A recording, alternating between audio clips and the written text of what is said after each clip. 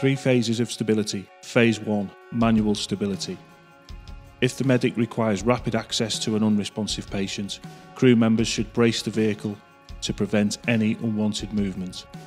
This provides rapid access to the medic and allows them to gain immediate access to the patient. Phase 2 Blocks and wedges.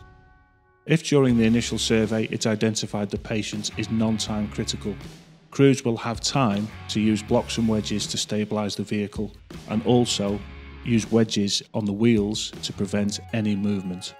This should be done carefully but quickly.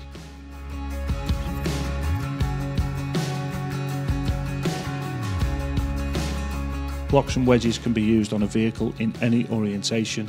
Simply identify points of strength and fill in the space between the roadway and the vehicle.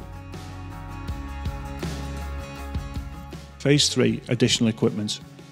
When vehicles come to rest on their side or on their roof, additional equipment may be used. Blocks and chocks usually will not be enough to provide adequate stability to allow crews to enter the vehicle. Incident commanders and the technical team should assess the position of the vehicle and deploy the appropriate equipment where necessary in order to provide full and safe stability. Stability should be checked throughout the rescue process when weight is added or taken away from the vehicle.